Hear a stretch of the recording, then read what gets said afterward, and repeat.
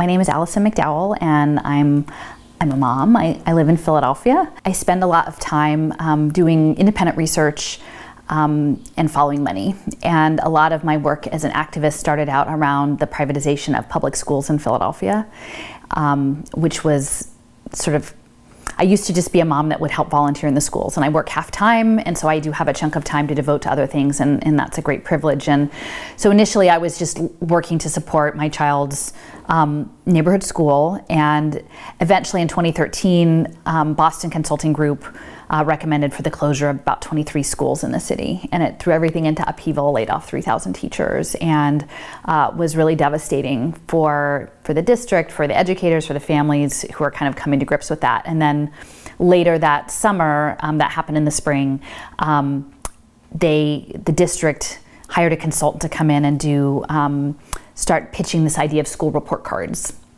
grading schools, um, and it would impact the regular public schools and not the charter schools. And so um, we sort of organized in opposition to that. Um, that work was um, underwritten by the Dell Foundation. Uh, Michael Dell, uh, Dell Computers, Dell, Dell Computers works with major contractor to the NSA. and, um, and so those public meetings were shut down. And so in response, I sort of jumped into working with um, education activists around opposing standardized testing. And so that was sort of my first big effort. And I was coordinated actually with um, a national group because this was happening nationally at the time through United Opt Out um, and Peggy Robertson, um, who's actually based in Colorado. And so we connected sort of this loose coalition of parents who were trying to oppose the use of both the standardization of education curriculum as well as the weaponization of scores against schools to close schools. And I did that for a while, um, but then realized that really the end game was shifting more towards all the time data collection on students through educational technology. So then my focus shifted towards um, looking into the ed tech as a global industry and what it meant for both surveillance. Um, of content delivered in the classroom, the commodification of children as data, and then again the use of the data collected to further privatize public education. Um, so a lot of that work, I, I blogged at wrenchinthegears.com. That's that's the blog that I have, and um, over time, I realized that really, even though I had come into it through public education, that this issue of commodifying people as data and doing the sort of digital control and disciplinary mechanisms was really part of a much larger global financial apparatus. Um, and one of the parents that I organized with um, is, is Cheri Honkala. We were our kids were in the same school at the same time, and she um, has been doing work around housing rights and um, rights of the poor, organizing the poor for decades um, and doing really amazing work outside the system. So we connected, and then my lens just expanded much more broadly that this wasn't simply about controlling public schools and children and families and educators, but it was really about um, creating systemic global poverty and then managing that. Um, so that's that's sort of how I came into things. So now it's gone from poverty management to pandemic, which is creating poverty. Just keeps getting bigger. What, what did you say? The weaponization of data. What do you what do you mean by that? Well, so so Eric Schmidt, former chair, I believe, of Alphabet, Google's parent company, I mean, has said, you know, data is the new oil. And, and I think that's sort of this common understanding at this point that um, you know, we're reaching peak petroleum. This next extractive resource is, is data. Um, and a lot of the data in the world, increasingly as we smart up with sensors and things, our environment, and even like our phones are just a very basic sensor mechanism. Um, our interactions with devices, with sensors embedded in the built environment, amongst sensors, that's all generating data. And the entities that can capture and analyze that data have tremendous power. Um, one of the things that I got into when, when I was working in the education front, um, so ultimately, when I was doing testing, I realized that wasn't the answer. That wasn't going to be, withholding the test wasn't going to be the thing to stop it because then they moved into this technology so I, the lesson I learned at that point was like they would like for you to do the work for them to their end. Like you have to think a couple steps ahead because they have like a 20 or 30 year plan. And if, if they can give you a little lead on a controlled opposition, even though you may not understand that that's what you're doing, like they'll let you advance their agenda to a certain point. And so I didn't want that to happen again. And what I saw happening was there was a huge organization around data privacy, student data privacy. Um, and while I'm very much in support of the premise of data privacy, um, for me, the larger philosophical context is they would like for us to ask to become digital commodities. Like those in power would like to to offer us privacy in exchange for having our life turned into data so that they can extract value from that. But it has to be a mutual agreement that we will agree to be a data commodity. And so it's sort of a false choice around data privacy. Um, that we will get privacy, but then essentially it won't stop the educational technology. It won't stop telemedicine. It won't stop teletherapy. We'll still have to live in a digital world, but somehow we will, we can sell ourselves as data. Um, and so when I talk about weaponization, like there are subtle nuances. They like to frame the argument in certain ways, and and well, I probably lean Luddite. I mean, at this point, a lot of the educational process that I do with people is through digital. Like, I'm not saying like it's a, it's easy to completely walk away from it, but I'm trying to say that living in a world of data is a world of sort of binary decision trees that, that are only a shadow of the actual world and a shadow of actual relationships. And by buying into that, we're allowing ourselves to live in their apparatus that they have constructed. Like Google builds a really nice box. it's got a lot of bells and whistles. It's fun. It can do things. We can share stuff. But ultimately, it's Google's box. So we're not going to be able to conceive of things outside of Google's box if we decide to live there. And um, so th- these are questions. I don't tell people how to think about it, but these are the things I think about. Um, and this data, so that's the commodification piece. The other piece is a book that was really influential for me is Yasha Levine's book Surveillance Valley, and it's a military history of the internet. And if you understand the internet as a militarized space, um, it puts a very different spin on things. And if you understand that is both the this intersection of corporate the corporate state and the militarist state and sort of potentially predatory philanthropy are, are all operating in this digital space that feels really cool, but also has a lot of risks that people are not aware of if you don't know the historical context.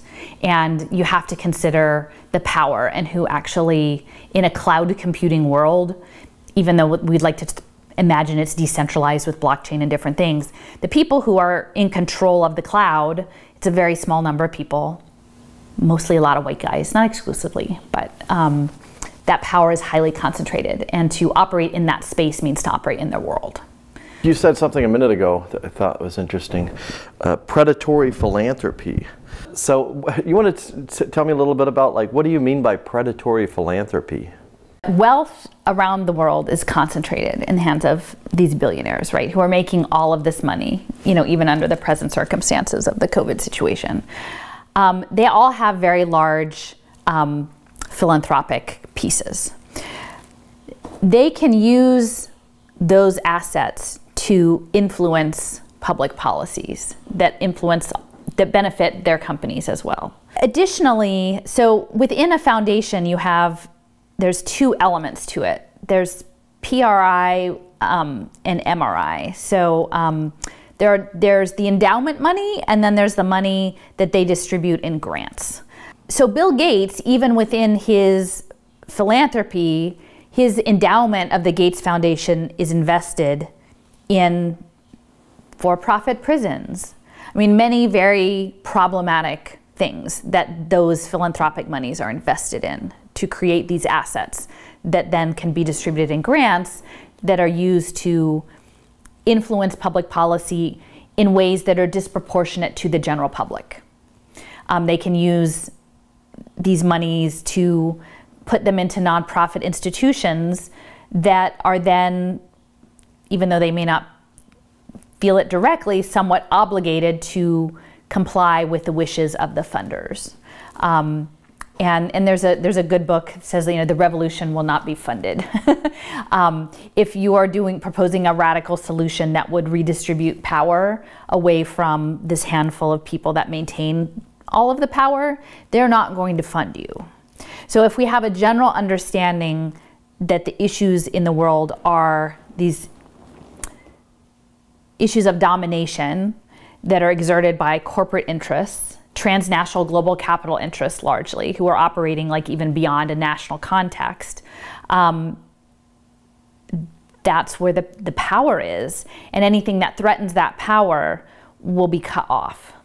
So there's this idea that through grants and things, you can sort of have the cardboard check, glittery gala, feel good, pat on the back, doing good work. Um, but the reality is, is that many of these companies are making profits off of the misery of the global populace. And if we actually redistributed resources in a way to ameliorate poverty, their businesses would be harmed. Um, so we've got sort of these global poverty management complexes that are run through well meaning, often nonprofits, but are limited by the fact that they're funded by entities that have no real desire for poverty and immiseration to end. I mean, also Bill Gates is funding like GMO seeds, like he's funding he's funding the privatization of public education. Uh, you know, there are many elements of these policies that might be something that one individual person feels is good for everyone else, but many people realize it's a huge problem. So again, that's one person who's exerting disproportionate influence over the lives of millions of people. And it's very hard to like we didn't elect Bill Gates to anything. we didn't. And there's no way to get at Bill Gates or at Eric Schmidt or at New America or at these think tanks. There's no way to get at them because at this point, like, you know, and I don't know, you know, it goes back very far in terms of influence, but the government is operating with these partners in sort of shadowy back corners in a way that the general public will never get to. We'll, we'll never get those invitations to Davos. Like we'll never know. We're not meant to know what goes on there, and that's those aren't people we can elect out. So what's interesting about this is people that I know who are all about the you know democracy and representation and government and um, you know, government by the people, you know, the idea of government, not necessarily the ac- actual reality of it, um, are also the same people that support Bill Gates and, and these, you know, they're benevolent and as, as a force of good, and there's a disconnect there because on one hand, they're cheerleading the idea of a democracy while celebrating this incredibly undemocratic uh, setup, yeah. arrangement. I mean, for me, like I said, my, my entry point was in through the public schools. And I could see the grave harm that was being done. And, and I mean, I, I give Bill Gates credit. He actually has all of his grants on his website, right? So you can go in and in different project areas look and see the hundreds of millions of dollars going into all sorts of things. Now, my scope up until recently wasn't looking at their global health initiatives, right? Like I was looking at schools, which was big enough. It was a huge.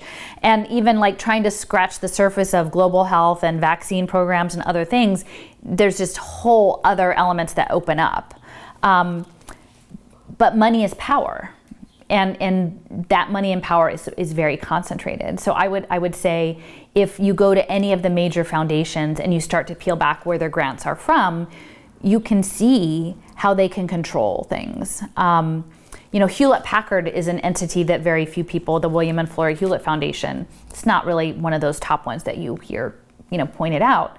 Um, but they're very influential. Essentially, they have restructured the nonprofit industry to be data driven to run these human capital markets that are coming.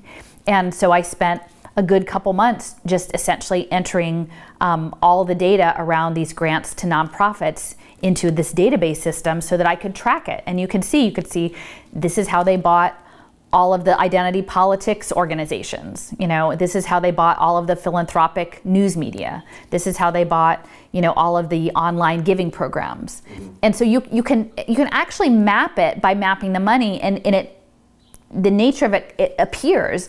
And and there are so many people who tell me, Alison, this isn't coordinated you know, this can't, there can't be a place where everyone's planning this out. And I'm like, no, there is. It's Davos, it's Necker Island. There are groups of people who are at this high level who maybe not they don't all have all the parts, but they definitely have the overall strategy of what the plan is. And they have like a 20 to 30 year, maybe 50 year plan of how this is going to roll out. And then they have backup plans depending on what the resistance is. So, yes, it isn't conspiracy. It's not hidden if you actually spend the time to look at the money, which is what I do, and, and which is why I'm not just taking somebody else's word for it. I'm actually looking at what they're saying in their white papers, in their grant projects, in their boards, and seeing how it's playing out in the real world the resistance will not come from the middle class. No, I, At the beginning, it certainly won't. It's going to come from the people who have been systematically, eh, who who are. If we can get to a point that people's basic needs are met enough that they can c- collectively resist, to try to convince the middle class of what's happening, most people, I'm not a normal person right. for whatever reason. I, you know, I saw this and I can't walk away from it. Yeah. So, but that's not most people. I think was it impact investing that kind of got you kind of like seeing beyond just oh it's just beyond just like the, the standardized testing or whatever. What was kind of the next step for you? I'm trying to remember how I first got to looking at, at pay for success. Um, One of my my mentors, um, his name is Tim Scott, wrote a couple of pieces that touched on social impact bond finance, um, and this was at the time where I was looking into educational technology, and Gates was was sort of part of that.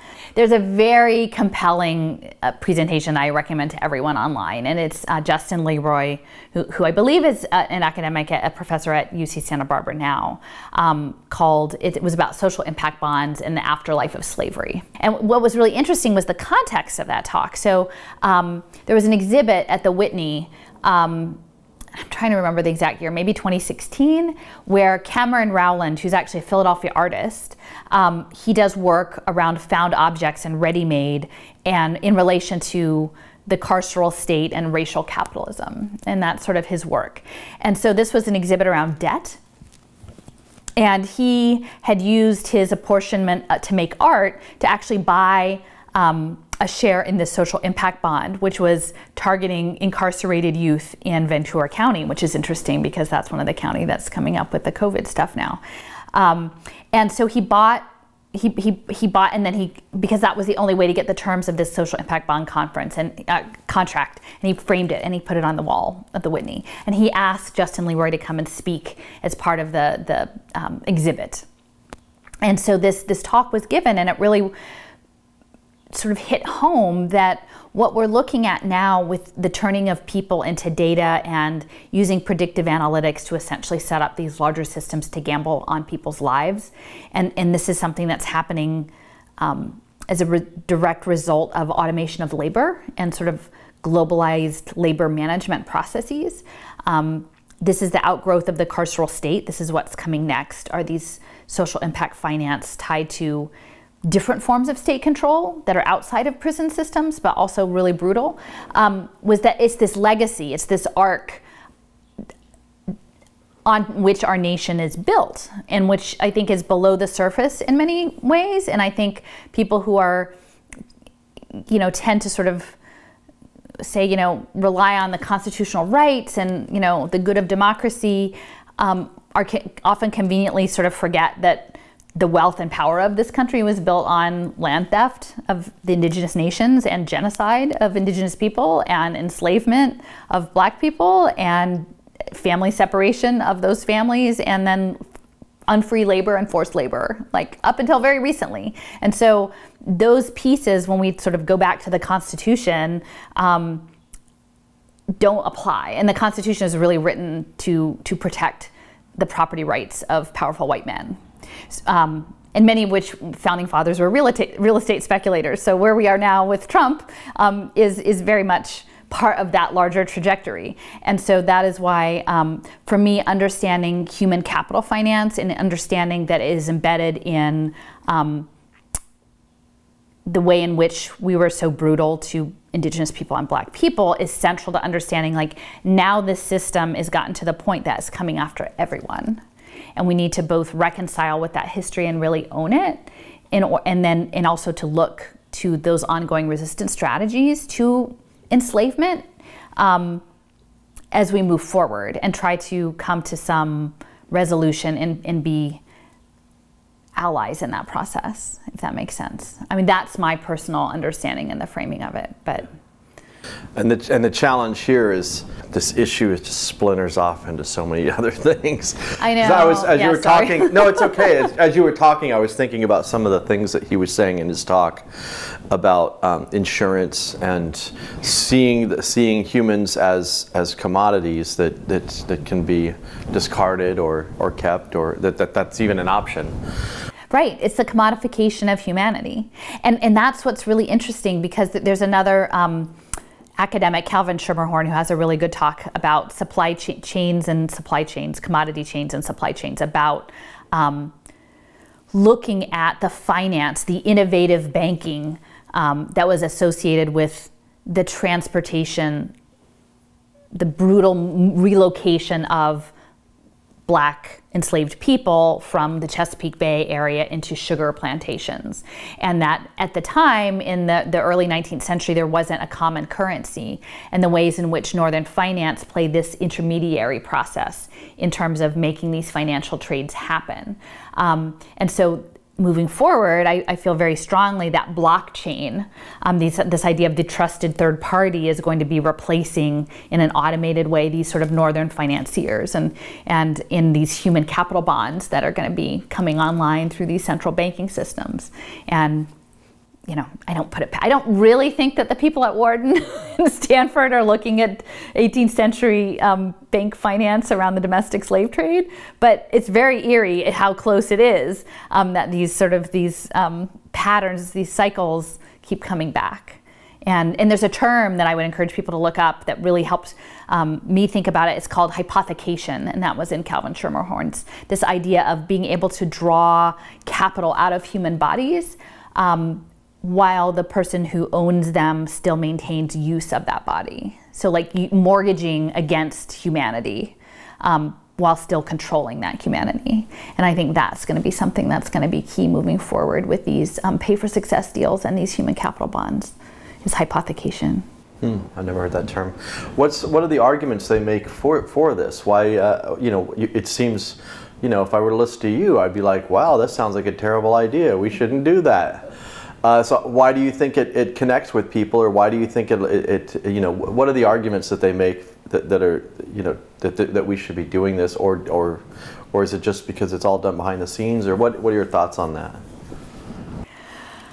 Well, the human capital finance mechanism that's that's I believe will probably be likely to roll out in the aftermath of sort of this global economic reset. Um, you know, they pitch UBI, Universal Basic Income, as this. They've been sort of preparing the ground for that for the past few years, and um, you know, I think they want people to believe there's no strings attached to that, or they're just giving you like a suitcase of cash, a thousand bucks. It's not going to be that. It'll be tied to digital currency, and within that, like very much conditioned on how you can use that money. And and and within blockchain systems, there are ways of actually programming money through tokens. You know, you can use this amount for rent, you can move this amount for food. You know, um, it, it really is very limiting. Um, I would say this idea of universal basic income or blockchain identity or decentralized, like you can become your own data commodity, there's part of it that is very appealing to sort of the traditional American mindset. Like, if you just curate your own brand, like you can beat out all of the other people on the block to be the most desirable data commodity out there, and everyone will clamor to, you know, and that's, you know, the, the YouTuber culture, you know, these, these online celebrity cultures is that it's all about this digital branding. Um, but the reality is is that the resources are still concentrated in the hands of these few powerful people. It's not they're not giving us any more of their money. In fact they're using these systems to further concentrate their wealth and power and, and, and impose austerity at the bottom level. So i think in one way they, they want to sell this american dream of bootstrapping and just for the digital age and like you know if you're just really good you can if you're, if you're really disciplined and you're really good you can make it work um, even though they control the structural apparatus and you're working within their structure even if they it's ostensibly you know decentralized. Um, and that's appealing for a lot of people. A lot of people just like want to be free free operators. They want to they don't want to feel like they have obligations to other people or part of these larger webs networks. Um, I mean, for me, it feels like there's like the digital life, which is sort of an anti life status, and then there's the real life, which is is messy but also powerful. and so there's we're, we're sort of diverging. Like there's the people who are taking the cyborg track of like living in the virtual world, and then people who are like resisting the cyborg track. And I don't know how it's going to all play out because it's hard because increasingly they're pushing everybody into the cyborg track. And if you if you want to like live outside of that, live not with a digital payment system, live not with a digital identity.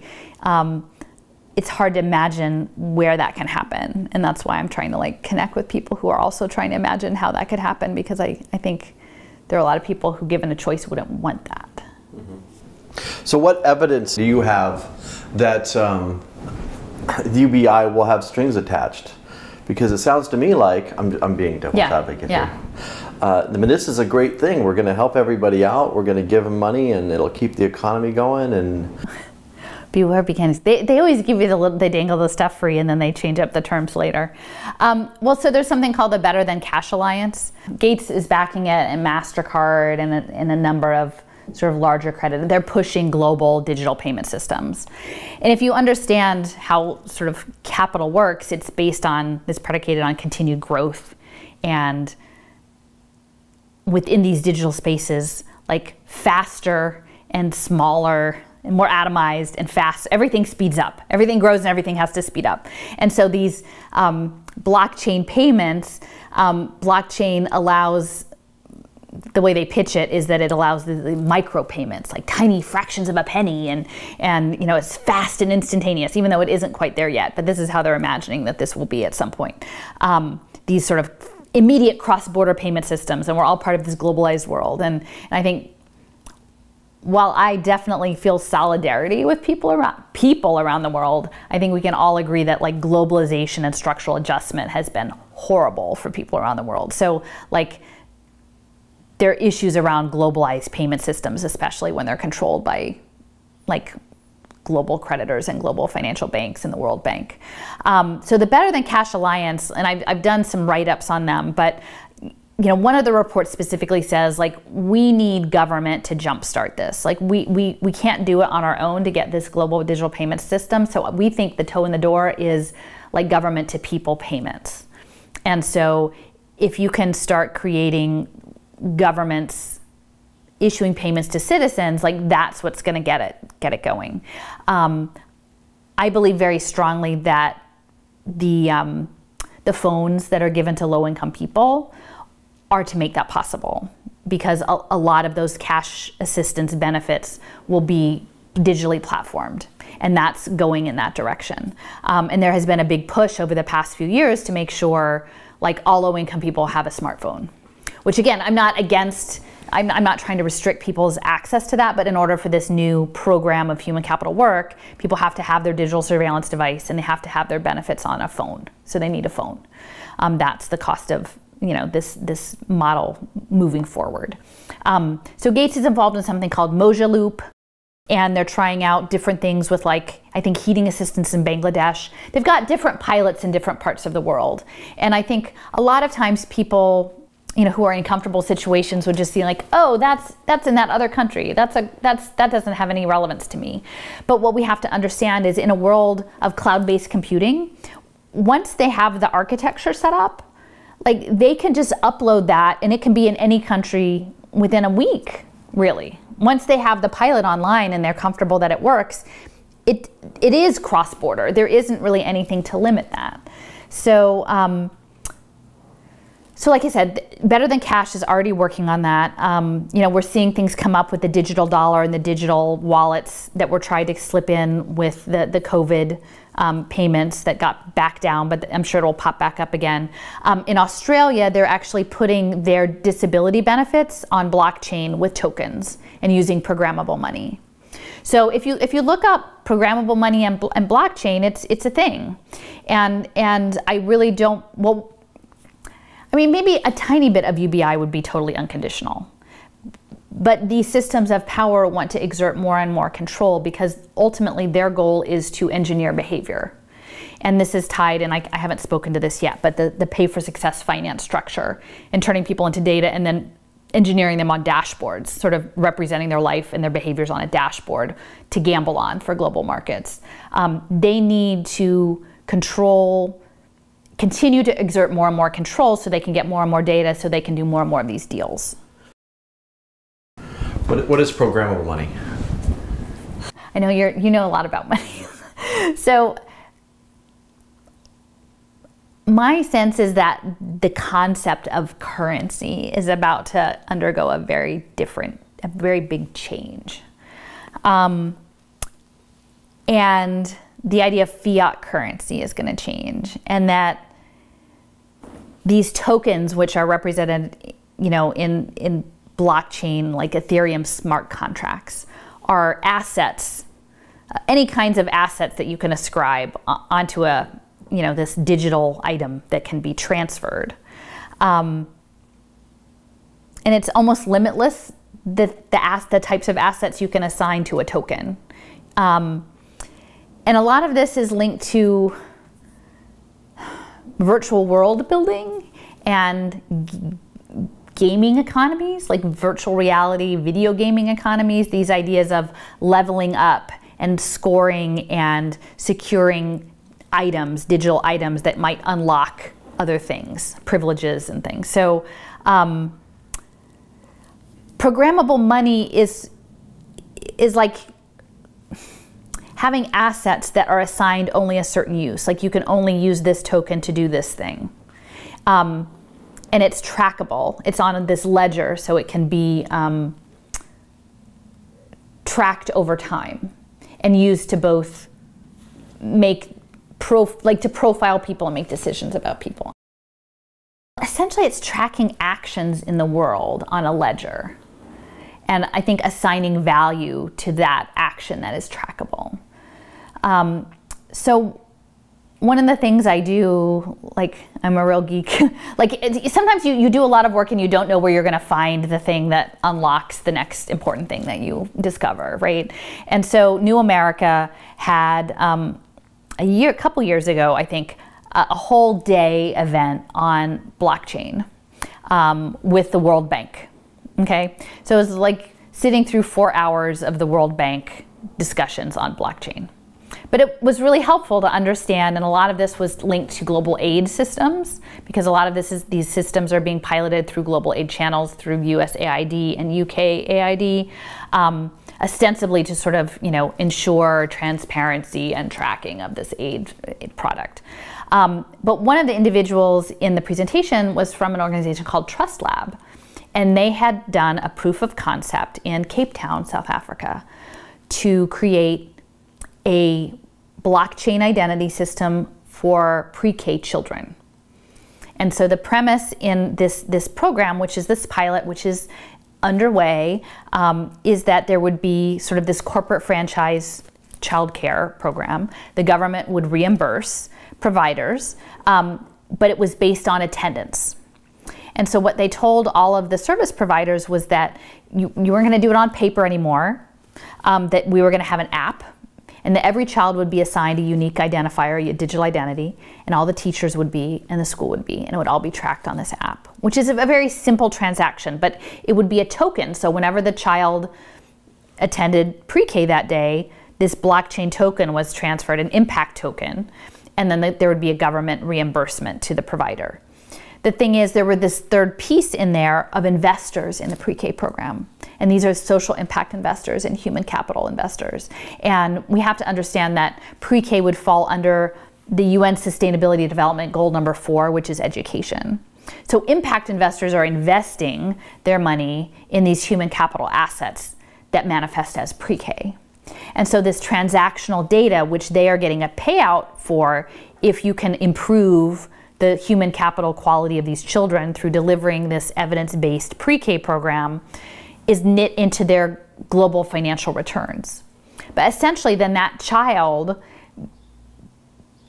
becomes a mechanism within this larger global financial apparatus. And their behavior of showing up to pre K and enabling these blockchain tokens to transfer both to pay the service provider and document for the impact investment um,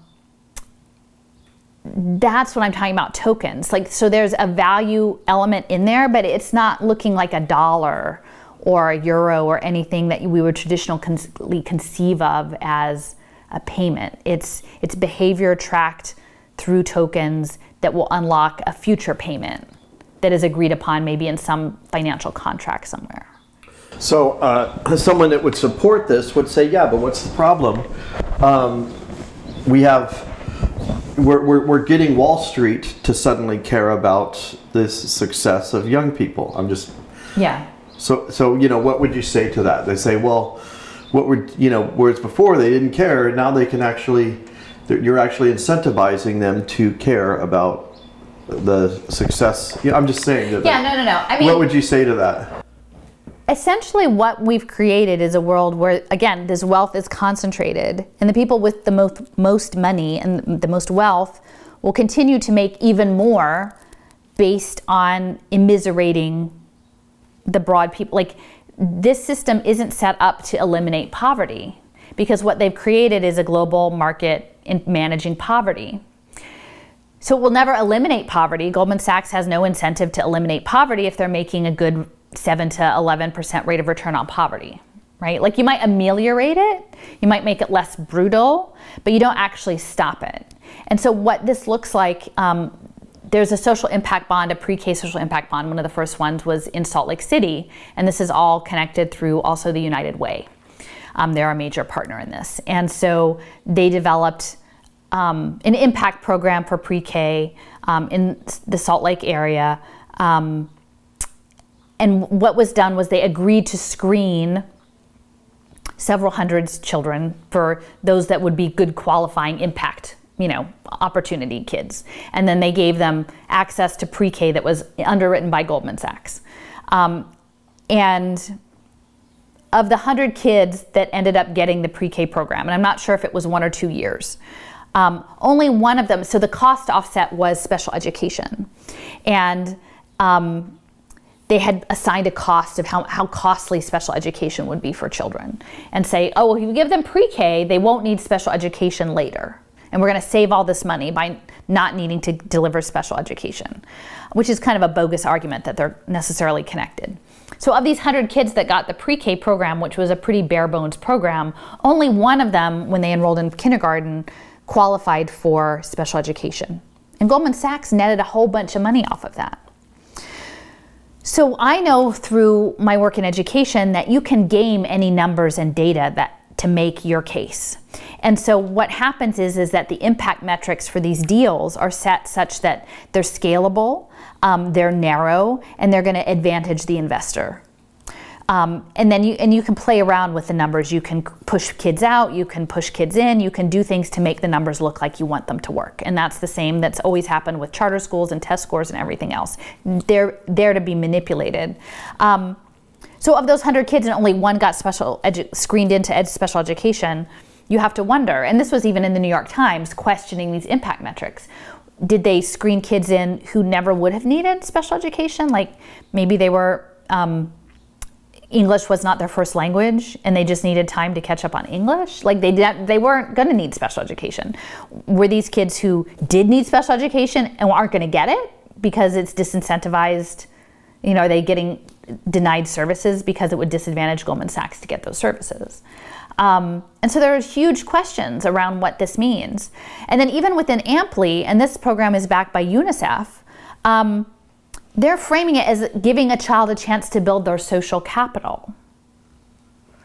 Well, that's a really messed up situation when essentially what you're saying is like we know how racialized these systems are already is that you know this child is already pre-profiled as a potential burden on society before they've even, you know, they're, they're three years old and they're already a potential burden on society. We've decided, our data analytics have decided, based on your zip code, your parents, your genomics eventually, you're a burden. You're our burden and we'll fix that burden. It's incredibly paternalistic.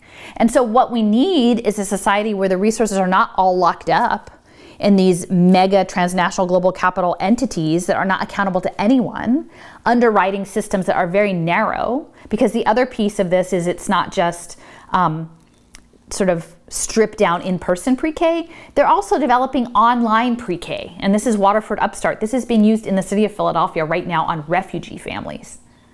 They're pushing poor kids, refugee kids, into online preschool because it's an impact market, it's a data profiling market. These kids don't have a chance to say no thank you. I'd prefer not to have a digital identity. I prefer not to be your data commodity. It's incredibly predatory, and there are a lot of ethical questions about that. I mean, the other piece is they need new ways of getting data. And this is these, the pre-K program particularly is based on something called the Heckman equation.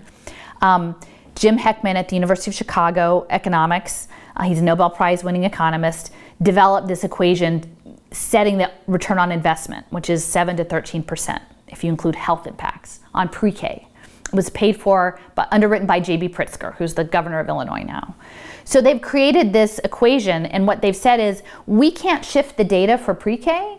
Um, we can't make the numbers work for cognitive skills. Like IQ hardens up at the age of 10, it doesn't work for the hedge funds. Like that doesn't work. We don't have enough movement on the data dashboards to make that work, to get our ROI. We can manipulate character. Hmm. That's what we can manipulate. We can move character data on a dashboard. And this is these Ocean 5 big uh, personality traits. And then we can do that digitally through gamification. So what that looks like is there's something called Hatch. I'm sure there are many of these, but Hatch Education has something called a We Play Smart Table. And I mean, and this is real. It is a large play table. If you imagine a, like a big screen TV flat, on two sides of the, the, the display are fisheye lens cameras. And the children are supposed to come together to play at this table, like moving puzzle pieces and things, where the cameras track their social behaviors. Their social behaviors, not just how, how they're personal, but how they interact with others and are scored. Mm. And that is the data that drives these impact deals. And I confronted the woman who was in charge of this with the, Goldman Sachs with the flyer. I went to the Dirksen Senate building when they were all celebrating um, what's called the Social Impact Partnerships Pay for Results Act. And they had a big, you know, champagne toast over finally getting this passed, this seed money to start these impact markets.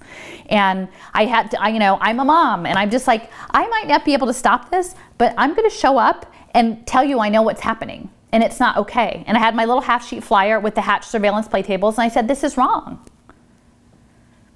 You don't put at risk kids on a surveillance play table to profit Goldman Sachs. It's evil, actually. And say we're going to brainwash kids, essentially, for profit. It's, it's, I mean, it's, it's not, uh, you know, if you understand it within a historic context, like clearly we've always done that to certain communities, to certain people's children. Like we have. Like I'm not, I'm not acting shocked that this is happening, but like I felt compelled to show up and like with my little half sheet paper and say like I know what you're doing. Like I'm a, I'm bearing witness to this. That it's not okay. And I'm hoping maybe more people will know about it because it's shocking. If you see the hatch we play smart table, you will be shocked to see it that it's real and then it actually I have confirmation. So I went to to Tulsa in January. There's centers where this is rolling out. Dallas, this is the Federal Reserve is part of a lot of this. The Dallas Fed. I visited Dallas and Tulsa. Uh, Tulsa is a target of a lot of this rollout. And they have something called EduCare, and, and this is going to be run through these EduCare franchise programs. And they're already using the We Play Smart tables in EduCare in Tulsa. And I, I, I intervened at one of these impact events, these events where they were celebrating, you know, patting each other on the back over their impact, you know, investing opportunities. And again, calling them out, just like with my banner saying, kids are not impact investments. And, and I had confirmation from this is coming through something called Strive Together. They have collective impact programs all across the country. And they were like, I'm like, do you know about Amply, like digital identity? Do you know about these smart play tables? And they're like, well, of course. like I'm in education, of course I know about the smart tables. So how does this affect the relationship between the student and the teacher and uh, the child and the parent?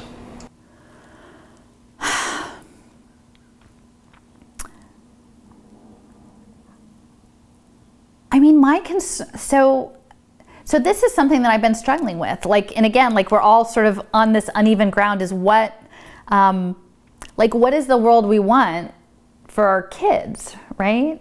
And so on the one hand, there's like what does it mean to parent? Like what does it mean to have time to care for your kids?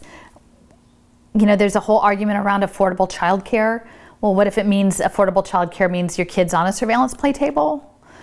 You know, what kind of world are we creating that you have to have two full-time parents, maybe each working two jobs to sustain a family so your kid can be on a surveillance play table for Goldman Sachs? Like these are these larger questions. Um, you know, and I'm not sitting here saying like any one parent should forego their, you know, having a satisfying career to do this work, but I think we really have to balance what corporate childcare, what franchise childcare means when it's starting to come with these predictive analytics and data analytics systems.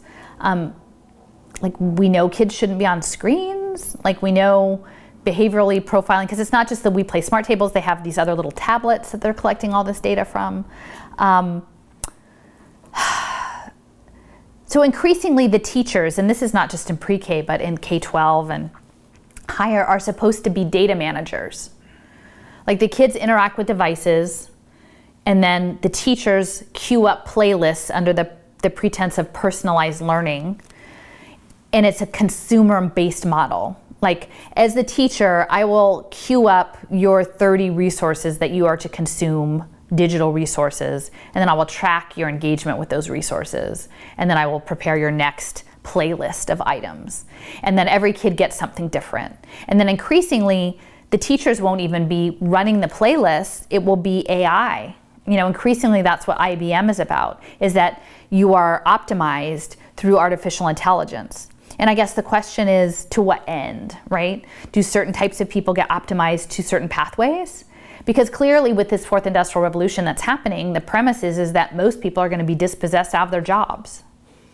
So if you start profiling kids at the age of three at the surveillance play table and putting them in feedback loops, digital feedback loops that maybe they're not even aware they're in, essentially you can control their future.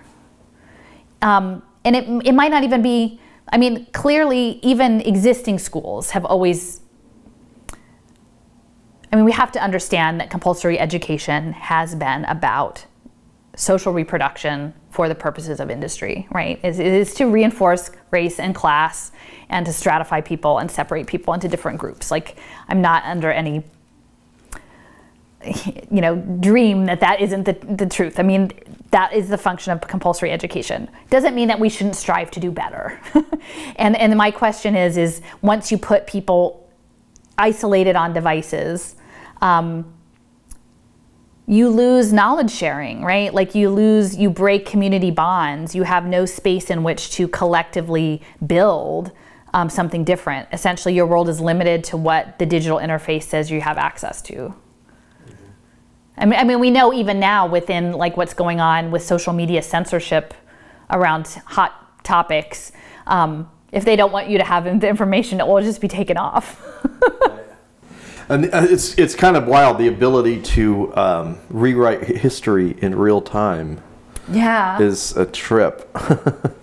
what was it 1984 the whole like the when you rewrote the history and you put it in the burn the, yeah the, yeah. yeah exactly Just yeah. Last summer, I listened to the audiobook of that again, and I was like, wow, so much of this is so relevant. Like, it's super, yeah. Uh, um, I don't know. What, one of the things people say too is, well, this is just, you can't stop technology. This is just all inevitable, and, you know, you can't beat them. You might as well join them. And what, what do you say to some of those arguments?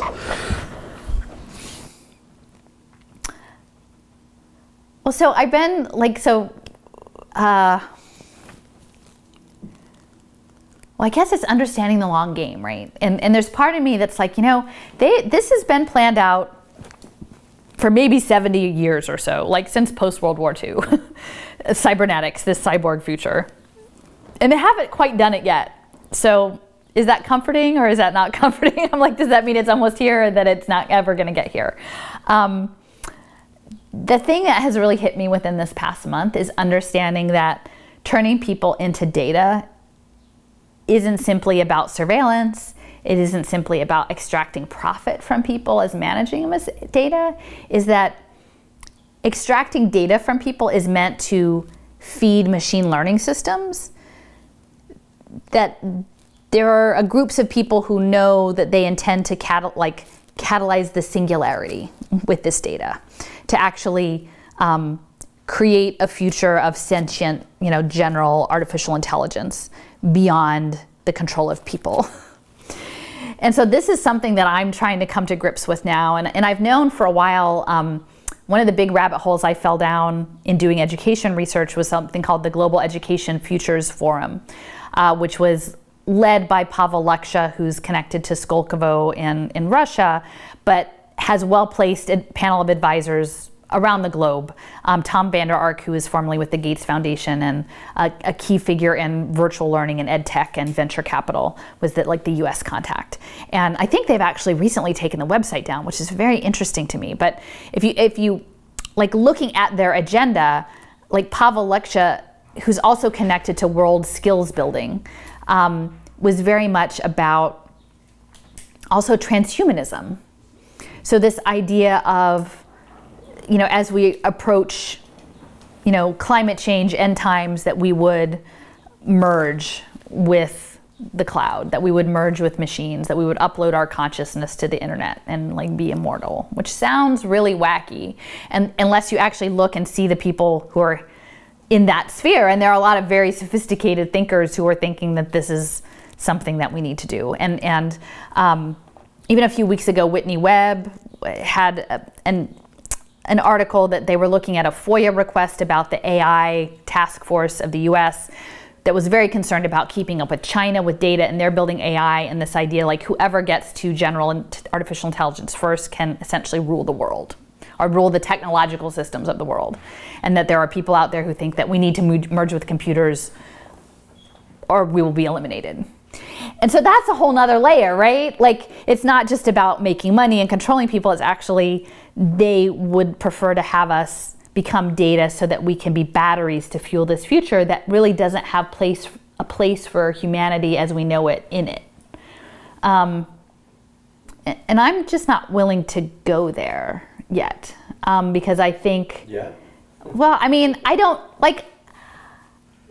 It's all in motion, right?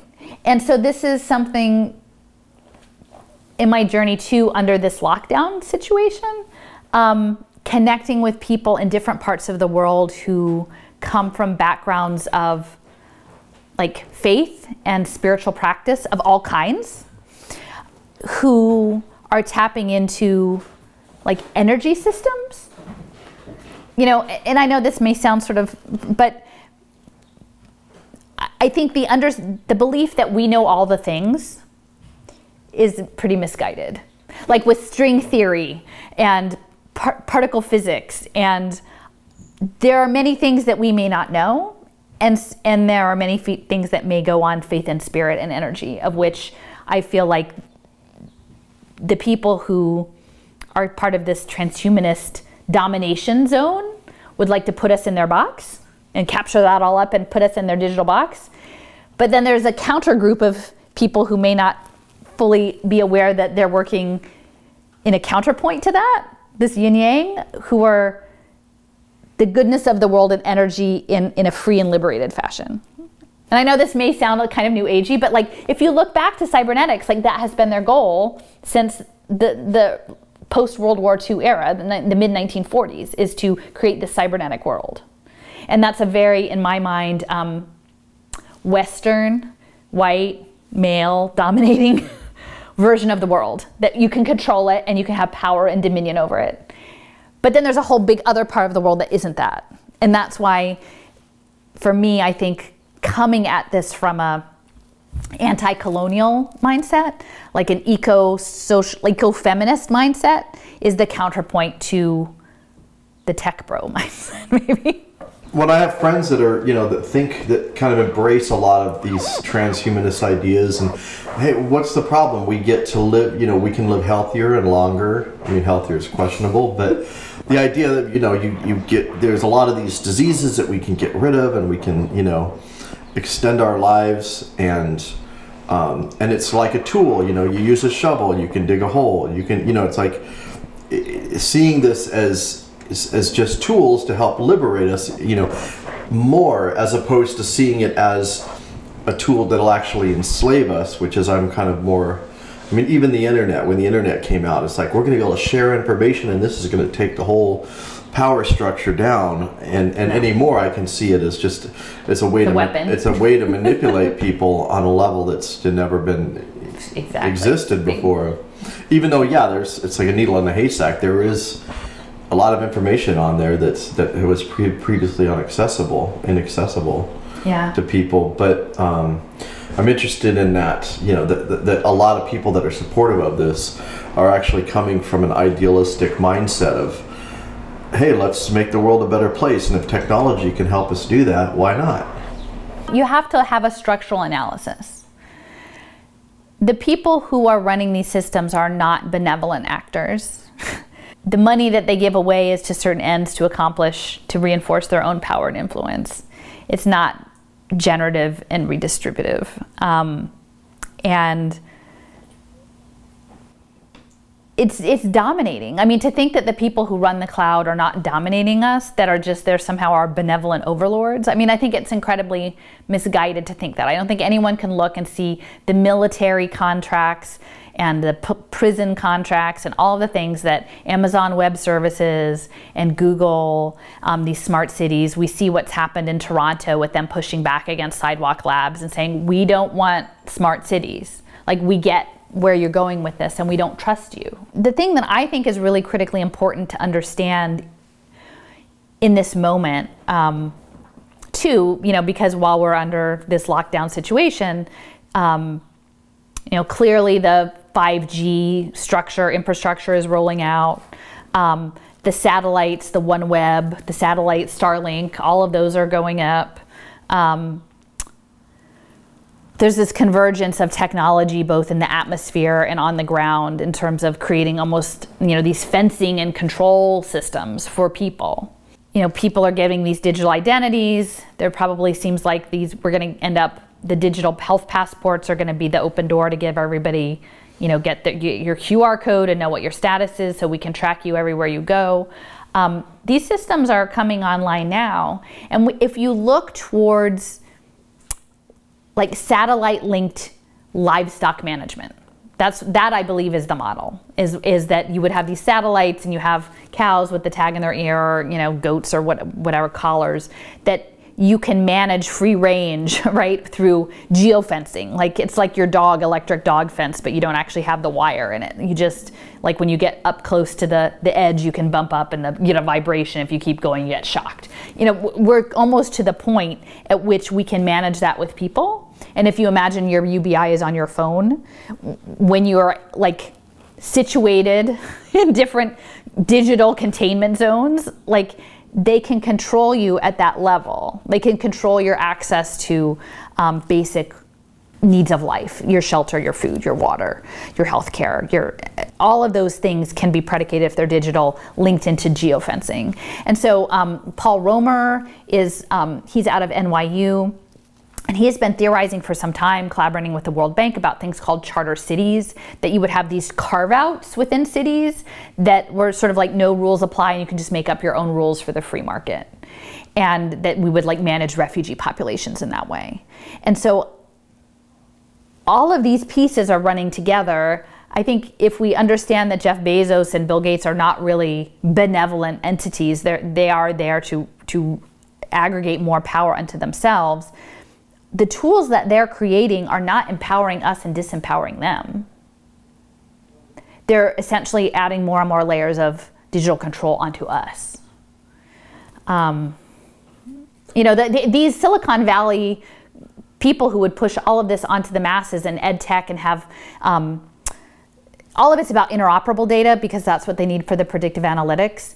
And um, there's a company called Clever that has QR code badges um, for kindergartners to log into their online ed tech education to, to maximize the data collection because the little kids couldn't remember their passwords because they're just five years old.